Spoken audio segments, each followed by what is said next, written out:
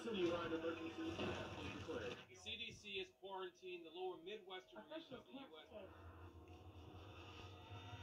Commitment, honesty, integrity, these are the core values that create the foundation for Umbrella.